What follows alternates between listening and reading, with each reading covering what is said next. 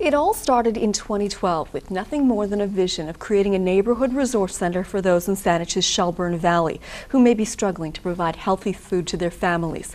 Three years later, the Shelbourne Community Kitchen is a thriving reality, providing not just a bag of nutritious groceries, but a place of belonging. V. Cooper has the story. All right, you guys, all the recipes are on here for the most part. Welcome to Kickin' Kitchen, where the chefs kick in the ingredients. Then when we get here, we just like make a recipe together.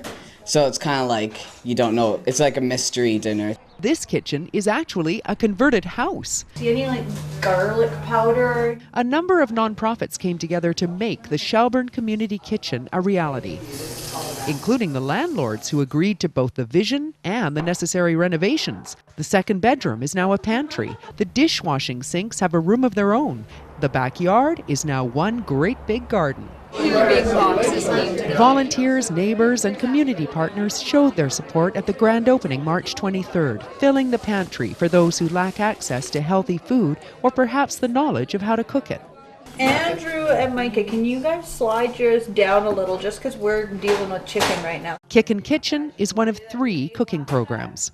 The Kicking Kitchen is a is an inclusive, low barrier program for all young adults living in Victoria. It's a um, a program that's designed around um, coming together, creating community, and learning to cook and have some fun.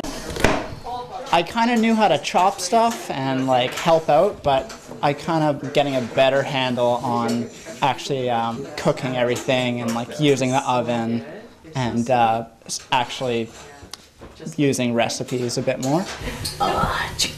People who are coming fresh out of their parents' house or in university or have some of their first jobs, a lot of those kitchen skills aren't really um, as strong as maybe you need to be to be able to get a, a good balanced nutrition in the meals that you're making. Candace was looking for a way to give back to her community and heard about the kitchen through her church. The idea of coming together to cook together, especially with random ingredients, and try and figure out what you're doing on the spur of the moment is something that I think is really fun. Kind of the environment that we, we've set out here really, I think, kind of catches people's hearts, and very quickly everyone wants to help volunteer and contribute and, and donate what they can. So it's really kind of evolving into a really beautiful community, I think. Learn more about the Shelbourne Community Kitchen at the links tab on our website. This CHEK program is brought to you in part by Victoria Foundation, connecting people who care with causes that matter.